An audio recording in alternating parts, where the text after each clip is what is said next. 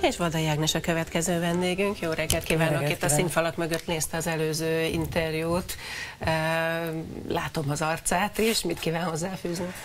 Ez a kutya komédia tényleg. Tehát tegnap este világossá vált, hogy a magyar választók nagyobb része nem volt hajlandó részt venni egy elnépszavazásba. Aztán Vasárnap este a miniszterelnök, és azóta folyamatosan nyilván az elemzők, mint a fideszes elemzők és a fideszes politikusok kiállnak, és arról beszélnek, hogy ez milyen hatalmas elsőprő győzelem tényleg egy ponton azt mondja az ember, hogy nagyon remélem, hogy nem hiszik el, amit mondanak, hanem hogy tényleg a habonyművek írt egy ilyen kommunikációs papírt, ami alapján mennek, mert, mert ezt az egészet, és nem csak magát az eredményt, ezt, ezt az egész folyamatot, ezt az egész kampány, bármilyen elsőprő győzelmek nevezni a kormány szempontjából, ez egészen elképesztő.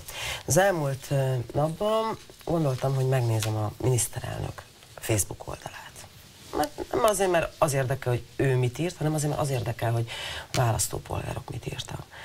És egész egyszerűen megdöbbentő, hogy az a gyűlöletkampány, amit a kormány folytatott, az ott folytatódik. Tehát, hogy azok a választók, akik úgy döntöttek, úgy, úgy fejezik ki politikai akaratukat, hogy vagy igennel szavaznak, vagy érvénytelenül szavaznak, vagy amire a DK is pusztított, hogy nem mennek el, otthon maradnak, azok a másik oldal tekintetében, tehát akik nem már szavaztak, azok mindenek, minden, mindennek leírták őket. Szóval Orbán Viktor legnagyobb felelőssége, azon túlmenően, hogy kihajítottak 15 milliárd forintot alaphangon, egy hát igen nagy mintás közönkutatás az az, hogy, hogy most arra olyan gyűlölet uralkodott el az országba, hogy kiengedte a szellemet a palaszból, hogy most már én is bizonytalan vagyok, hogy ezt a szellemet vissza lehet tuszkolni. Nem normális az, hogyha magyar gyűlöl magyart politikai véleménye miatt. Valaki azt gondolta, hogy elmegy és nem szavaz. Valaki azt gondolta, elmegy és igennel szavaz, vagy éppen érvénytelenül szavaz, és a legtöbben úgy döntöttek, hogy otthon maradnak, és ilyen vagy olyanoknál fogva nem vesznek részt ebben a népszavazásban. Mi úgy gondoljuk a demokratikus koalíció, hogy nyilván a mi kampányunk is hozzájárult ehhez.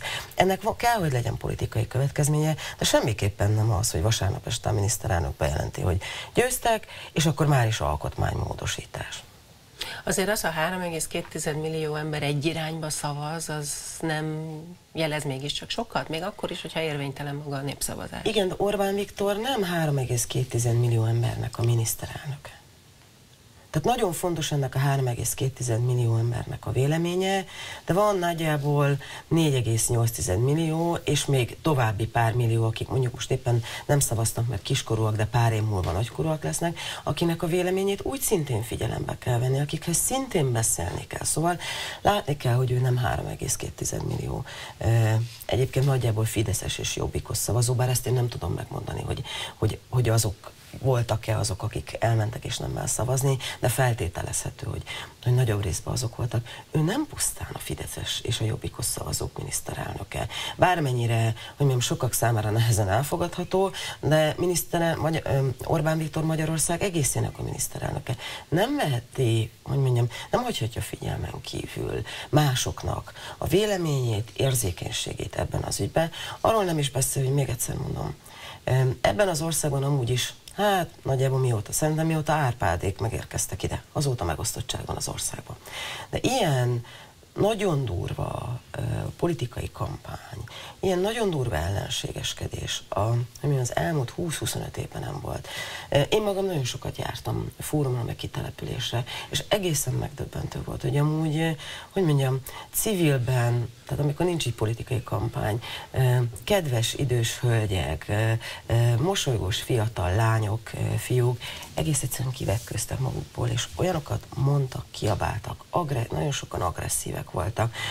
Ez egy... De is nem csak a migránsokkal szemben nyilvánult meg ez az agresszió. Nem, hanem... a, DK, a DK aktivisták több pultját összetörték. Volt, volt olyan szimpatizánsunk, aki, aki, aki, akit, akit megütöttek, szóval ez, ez azt kell megérteni Magyarország polgárjának, mindenkinek, a 3,2-nek is, meg a 4,8 többi milliónak is, hogy ez egy fontos politikai kérdés de ez csak egy politikai kérdés, és nem szabad azt engedni, hogy ez a gyűlölet ez beszivárogjon a mindennapokba.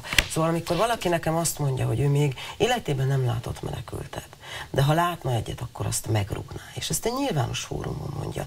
És akkor ilyenkor nekem eszembe jut az az aleppói kisfiú, biztosan is látta azokat a felvételeket, hogy az egy hónapos csecsemő, akit úgy húztak ki a alól, hogy hogy őt biztosan nem rúgná meg, csak ez a hihetetlen kampány, ami a legkisebb településeken is megjelent. Múlt hét pénteken egy nagyon kedves kis borsodi faluba jártam, ahol hát nem laknak 450-en. Hát nem hiszi el, hogy ott is volt ilyen, ez a lengőkaros plakát, ez az elefántfül. Szóval még egy 430 lelkes faluba is sikerült legalább azt hiszem négy vagy hat darab ilyen lengőkart kirakni.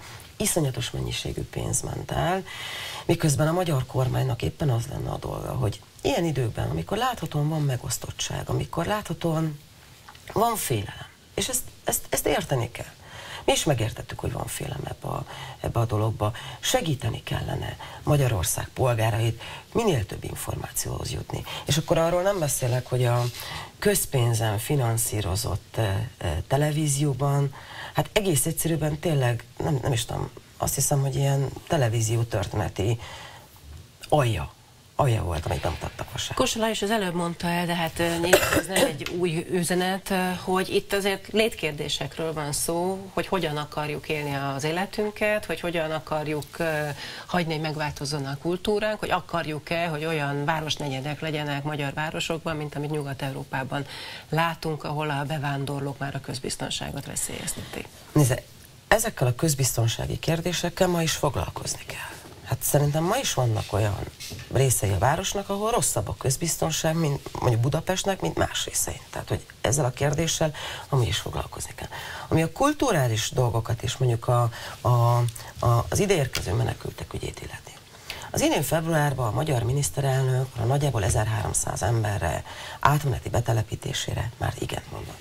Én erősebbnek hiszem a magyar kultúrát. Lehet, lehet hogy, hogy igent mondott egy szavazáson, de utána elment az Európai Bíróságra azért, hogy ne kelljen befogadni. Elnézést kérek, átmenetileg sem ezeket el, Elnézést kérek, tehát az hogy van, hogy először igent mond, azért, hogy nyilván jó pufizzon az európai vezetőnek, aztán hazajön, és mint egy durcás kis, kisfiú azt mondja, hogy új szabály van. Hát szóval tényleg komolytalan így a miniszterelnök.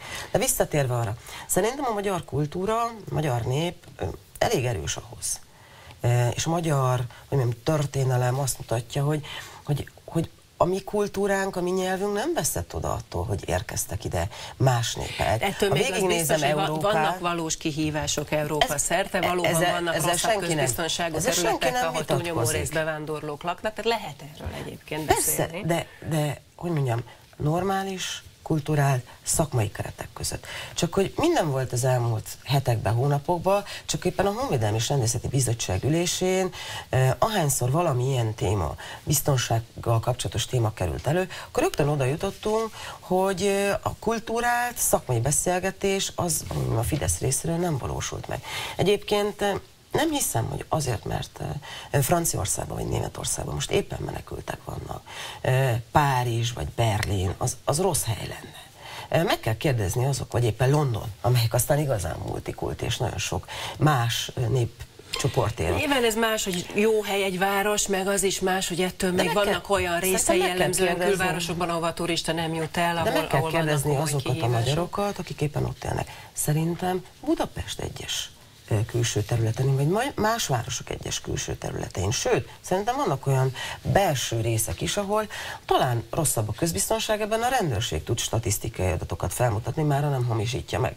Persze, való, valóban de le, abban, lehet, abban lehetne erről beszélni. De abban ennek teljesen igaza van, hogy szerintem például a Honvédelmi és Rendészeti Bizottság ülését arra kellene felhasználni, hogy valós adatokon, nem ilyen tekkes, nem tudom, ilyen rohangálós,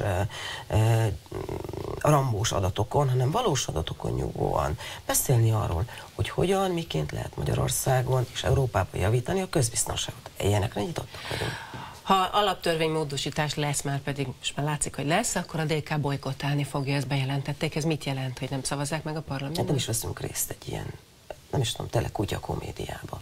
Szóval ha a miniszterelnök módosítatni akarja az ő kis csatlósaival a parlamentben az alaptörvényt, akkor ezt eddig mindig megtette, amilyen gránit szilárdságú az az alaptörvény, aki tudja, hanyadik módosításon vagyunk túl, és még leszünk túl a következő időszakban. Egészen elképesztő, hogy Magyarország polgárai vasárnap távolmaradásukkal világos üzenetet küldtek, hogy nem vesznek részt egy ilyen álnépszavazásban, nem hajlandók ebben a kérdésben véleményt nyilvánítani, és ennek ellenére vasárnap este, anélkül, hogy például a miniszterelnök konzultációt hívott volna össze a parlamenti pártokkal, hogy hát akkor most mi legyen ennek a, a, a, az eredménye. Egész egyszerűen közli az ő akaratát, és mint egy fenséges király állott a pulpitus kellős közepén, többiek meg hajbókolnak hozzá, és azóta ezt hallgatjuk. Azt kell, hogy mondjam, hogy ebben még a fideszes politikusok még mindig jobbak, mint a fideszes elemzők, mert volt olyan fideszes elemző, aki azt bírta mondani, hogy aki otthon maradt, tulajdonképpen az is nem elszavazott egészen elképesztő. I- igen, a köztévé adásában volt. Azt hiszem, egészen azt hiszem másnap most az ellenzéki pártok Gyurcsány Ferenccel az élen már arról beszélnek, hogy akkor 2018-ra mi következik mindebből, és ellenzéki együttműködés következik mindebből. Szerintük a PM szerint előválasztás is, ezt önök elfogadnánk egy ilyen forgatókönyvet? Szerintem ez technikai kérdés. Tehát az, hogy ez milyen módon történik. Ez a, De nyitottak ez erre a, a konkrét technikai megoldás? Mindig mindenre nyitottak voltunk. Szóval azt tudom mondani, ebben a stúdióban is nagyon sokszor ültem, hogy a demokratikus koalíció az a párt, amíg minden, nincs olyan megoldási javaslat, amit, amit a búvó elvetnénk, mindent el tudunk fogadni, mindenről tudunk beszélgetni, vitatkozni, érvelni.